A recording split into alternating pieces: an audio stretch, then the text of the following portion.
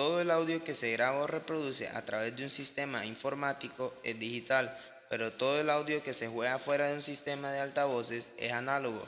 La diferencia entre estas dos formas de grabación desempeña un papel importante en la determinación de la capacidad de los procesadores de sonido.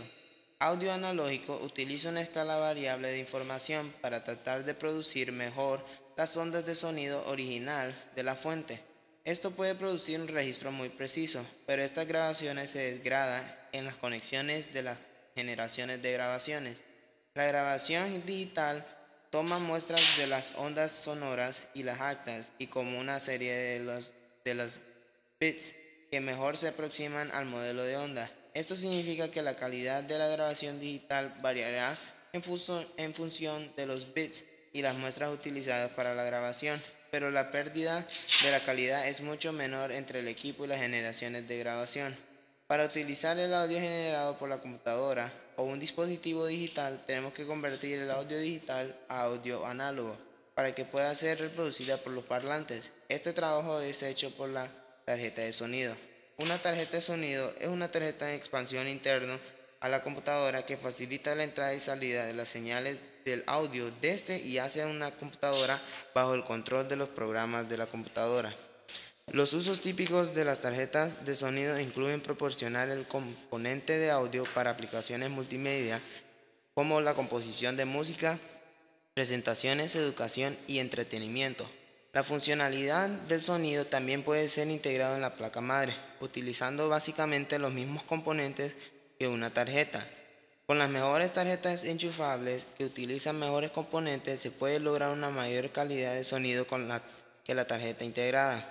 El resultado final de todo esto es para producir sonidos y esto es posible conectando un audífono al portal de salida de la tarjeta de sonido.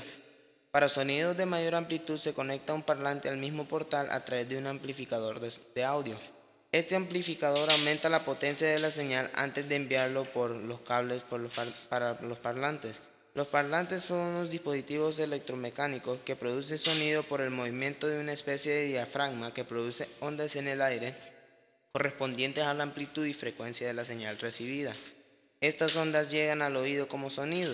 Existe también parlantes electrostáticas pero por lo general no se usa un sistema de computadoras. Para finalizar esta presentación le mostraré las partes físicas del parlante. Esto es el más principal, o sea el parlante. Acá abajo está el amplificador, el control de volumen y el control de tono. Una señal es enviada por estos cables, por, por estos cables de la computadora hacia el amplificador. El amplificador toma esa señal y la, le, sube la potencia. Al subirle la potencia, eh, la, potencia es enviada por estos cables hacia el, hacia el, hacia el parlante.